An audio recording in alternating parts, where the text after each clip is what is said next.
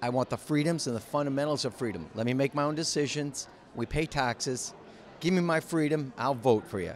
And people like me are coming out of the woodworks. I'm also originally from a country that didn't have freedom, and I came here, and the country I'm living in now is beyond recognition. And if I were to make the choice again, it would be no. There'd be no reason to come to Canada.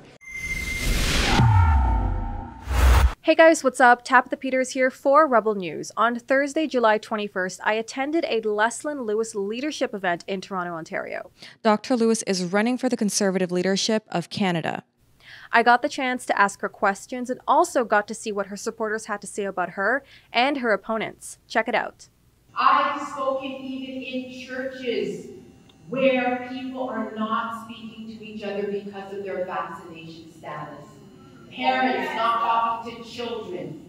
And all of this has been fueled because we had a prime minister who decided that he was going to use COVID as a political opportunity to divide. Leslyn's always been someone I really admire. And uh, I'd like to, instead of just being on the internet, it's nice to have her in person.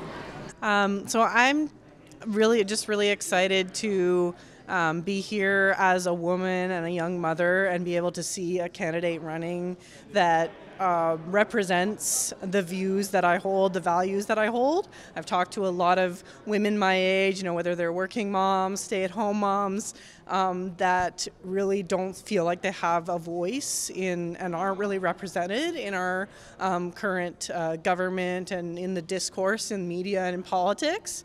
Um, and they're really concerned about issues like religious freedom, parental freedom.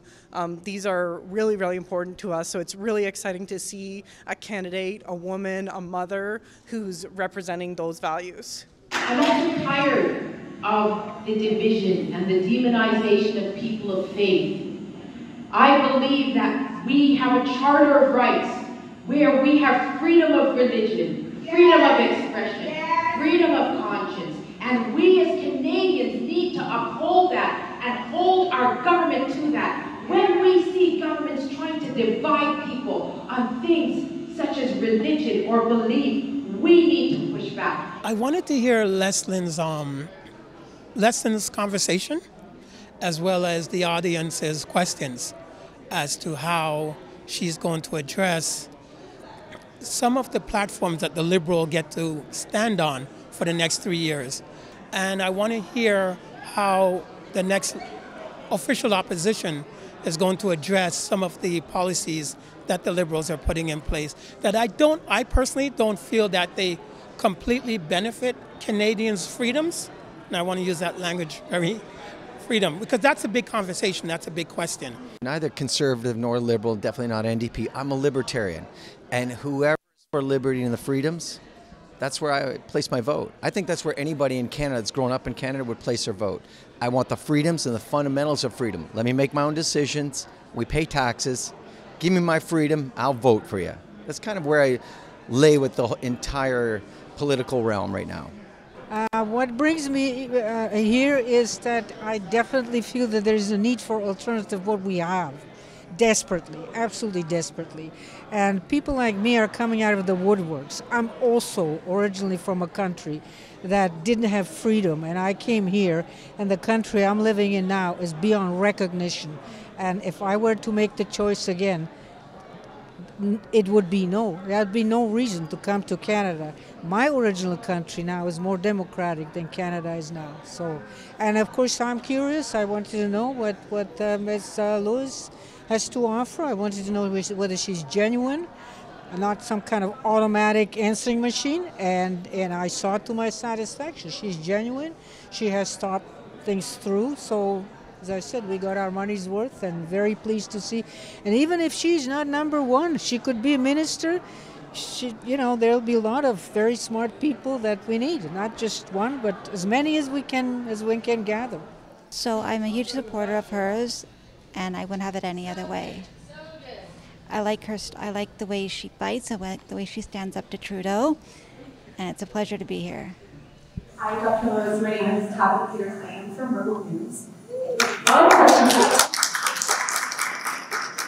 Tamara she is in prison for having a selfie with an opponent of Trudeau. Another trucker protester has been in prison ever since February. Even if you disagree with them, aren't you concerned about civil liberties Canada? Isn't this authoritarian? What are your comments on this?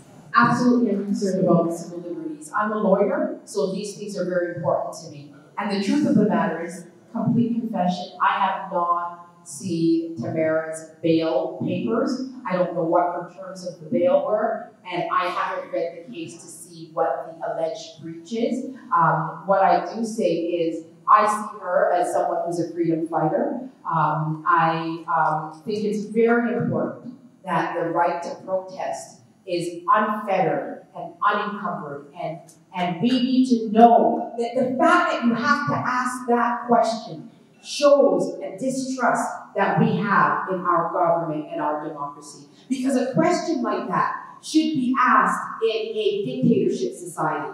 It should, it should, people shouldn't wonder whether or not she's getting a fair trial. But when we saw that in her first case, the person who presided over her case was a former liberal candidate, and that judge did not recluse himself. Of course, people are going to have distrust in the system.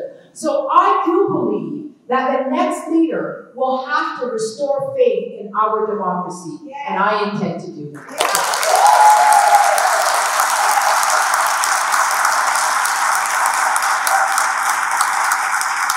Officially, Tamara Lich is a political prisoner.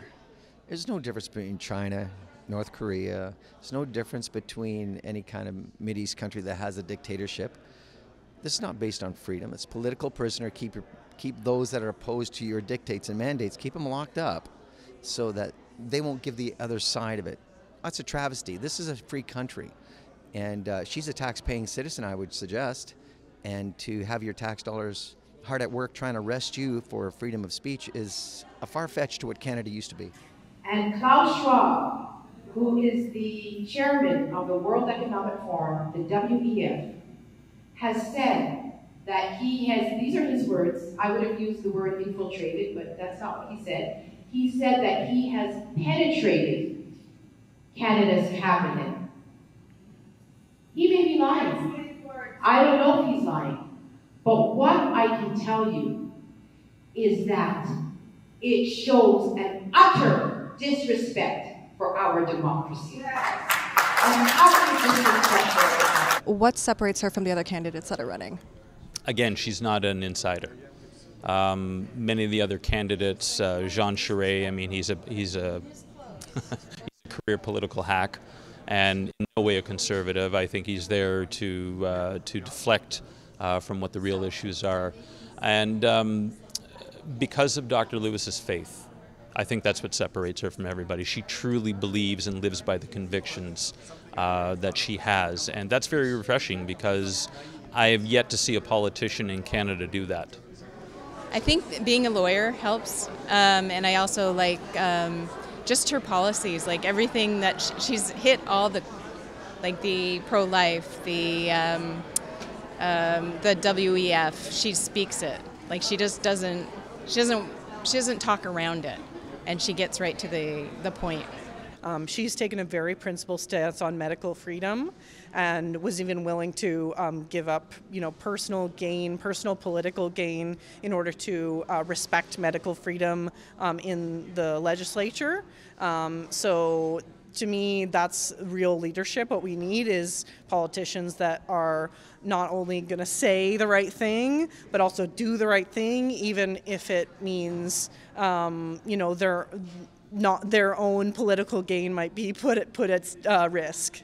I believe that as a sovereign nation that has gone through such trauma and turmoil that we've experienced the last two years, we need to do an assessment of what we did right and what we did wrong. We need a national inquiry into COVID, and I will get that forward. Dr. Lewis, she, she comes in and she approaches the, the topics from an area that is choice bound and not mandated. She comes from an area where you, as an individual person, you have the right to make your choice and your belief system based on the pertinent issues that she comes up with and that are plaguing really Canada today. So I really think that she's for the Canadian citizen to make their choice. Yes, no to issues. She's almost like a personal referendum on a lot of issues, really. Being right next to the Toronto Pearson Airport, I had to ask Dr. Lewis what she would do to reduce the chaos that is happening in major airports right now.